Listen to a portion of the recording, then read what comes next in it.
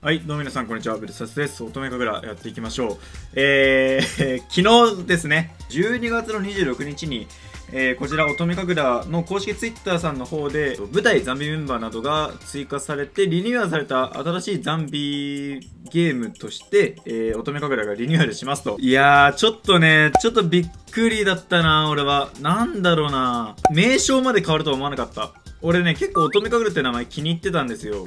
気に入ってたんで、ちょっと名称変わったのがちょっと気になっちゃったかなって感じなんですけど、えー、まあ、これもまた一歩前進なとこなんですかね。でも、ザンビザルームって、ザザンビザゲームって名前よ。俺さっきみたいにザンビザルームって言い間違えちゃうかもしんないから、うーんって感じなんですけど、はい、えー、ということで、えー、こちらのゲームの方のお知らせでもいくつか情報が出ておりましたのでそちらの方一個一個、えー、見ていきましょう、えー、2019年8月1日 Google プレイストーリーアプリの64ビット対応が必要になりました。まあこれはあれ結構ニュースになってたので分かると思うんですけど、えー、搭載端末においては、えー、ゲームをプレイすることができなりますと,、えーと、X86KCP 搭載端末。だから、えーと、と SOC があれか結こう変わらないといけなくなっちゃうみたいな感じなので、まあ、この対応機種出ておりますので皆さん、え、ご注意ください。はい。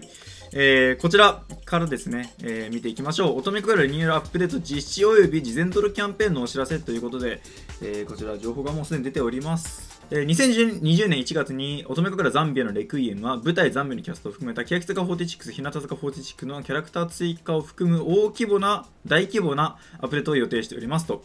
え、バトルシステムの一新やキャラクターフォトメモの育成要素の回収など様々なアップデートを予定していますので、ぜひお楽しみください。アップデート内容は乙女から公式サイトです一部を先行公開しておりますので、そちらをご覧くださいということで、後で公式サイトの方に飛びたいと思います。まず、今回のアップデートを記念いたしまして、下記のアキャンペーンを開催しております。まず1個、事前の登録キャンペーン。えー、新しく事前登録がされますと。いうような感じになっております。で、それが2016年の26日、あ、12月26日の、今、2016年っつった俺今。2019年ですね。申し訳ありません。で、1月のアップデートまでとなっております。まあ、詳細は出てないですけど、まあ、1月、やっぱ1月だったかな。俺もあの動画撮っててなんか1月っぽいなと思ってたんですよね。まあ、あくまで予想だったんでいいでしょう。キャンペーンその2、事前登録開始記念ログインボーナス、2019年12月14日土曜日5時よりリニューアップデート、えー、事前登録開始記念ログインボーナスを開催いたしますと。なるほど。あ ?14 日？え？ん？やってた？逆に。え？開催期間ここ書いとるやんけ。おいおいおい、びっくりしたびっくりしたわ、俺。まあ、えっ、と、金曜日からですね。で、えー、注意事項がまあこんな感じですよっていうので、えー、ご注意してくださいということです。はい、ということで、こんな感じでですね、公式サイトの方もアップデートされております。えー、乃木坂46、欅坂46、日向坂46、公式 RPG、ザンビザゲームという風に名称が変わりました。えー、というような感じでして、いろいろありますが、こちらのお知らせの方を見ていきましょう。はい、これ、え、っと、ゲーム内の方でも書いてあるのと同じなので、まあ、えー、ざっくり、えー、言います。成長ボードの初期化、学園の廃止、ミニキャラの、えー、衣装制限、そして星のフォトメモの開花段階と報酬、星5フォトメモの開花段階と報酬というものが、えー、変更になりますので、皆さんご注意くださいっていう感じです。これがまず1個です。はい。続いてこちらリニューアルアップデート。えー、こちらが多分ゲーム内には書いてない内容なんで、こちらを読みたいと思います。いつも乙女神楽ザンビのレクイエムをご利用いただき誠にありがとうございます。乙女神楽は2020年1月舞台ザンビのキャストを含めた、あ務めたか。えー、すいません。欅坂46、日向坂46のキャラクターの追加を含む大規模なアップデート、大規模なアップデートの実施を予定しております。これどっちが正解？大規模だろうね。で、タイトルが公認 RPG ザンビザゲームにタイトル変更となりますと。まずここなんだよな。ちょっとなって感じなんですけど、はい、タイトルが一致。追加キャラクター第1弾が、えー、っと舞台第1弾のメンバーの計7人。で追加キャラクター第2弾としても計8人が追加されますと。ん？6人か。すいません。6人が追加されます。あミニキャラ可愛くなってる！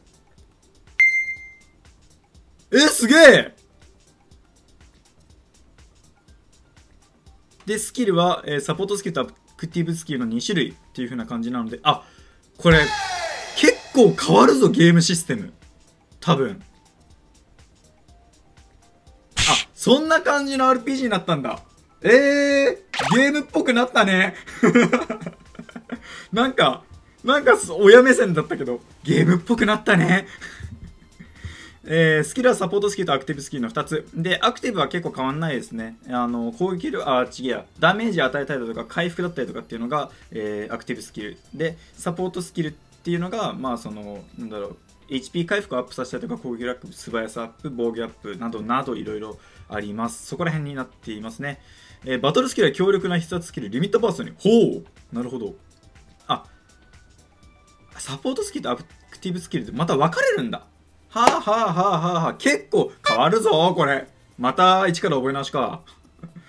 えっと、宝石を装着したキャラクターを自由にカスタマイズ。あー、そういう風になるんだ、これ。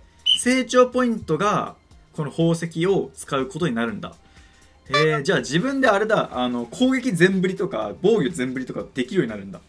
えー、なんかロルのルーンみたいな感じだね。言ってもわかんないか。あの、な、えー、なんて言えばいいんだ？第五人格とか、なんかボードとか、あと、あれ、白猫プロジェクトのボードとか、ああいう風な感じになるって感じかな？イメージ的には。で、アビリティも習得されますという風な感じになっております。はい。結構燃えなくさ。え、ちょっと意外と可愛いんだけど。ちょっと？ちょっと可愛いんだけど。はい、ということで、えー、一旦まずこちらのゲーム画面に戻ったんですけども、えー、先ほどちょっと軽く飛ばし飛ばしになってたものを、えー、もうちょっと詳しく言おうかななんて思っております。はい、リニューアルに関しての、えーと、一部機能の変更についてなんですが、まあ、成長ボードは先ほど公式サイトの方での時に見せたと思うんですけど、まあ、えっと、宝石に変わりますよって感じです。で、学園の廃止、これちょっと寂しいな意外とその自分のなんかカスタマイズとかできて好きだったんだけどな学園は。うんって感じなんですけど。でミニキャラの衣装制限ということで、えー、ミニキャラの衣装は、えー、制服ウェディングザンビカ乙女神楽のシリーズに限定されバトル画面に反映されるようになります。なんで結構アバターに近い感じになるって感じですね。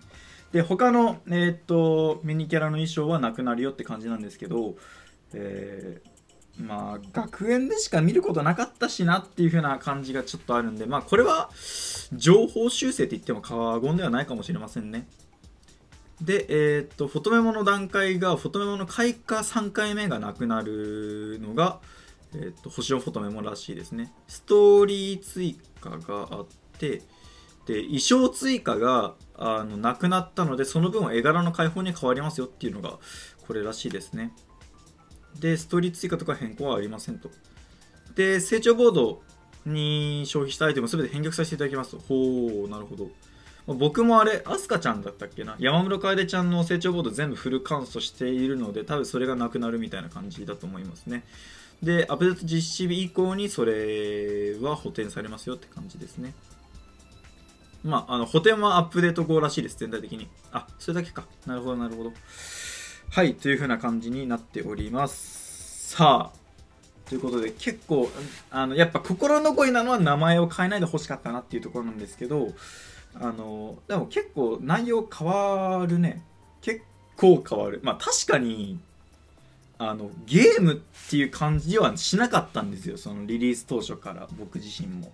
なんか、なんかちょっと違うな感があったんで、あの、ああいう風になって、なんだろう、えっあの形式、なんていうのかな。今多分編集で画像が出てると思うんですけど、この形式ね、多分、あの、プリコネってわかるかな？プリコネとか、なんかそういう系、えっと、あと他なんて言えばいいんだ ?FF とはまたちょっと違うよな。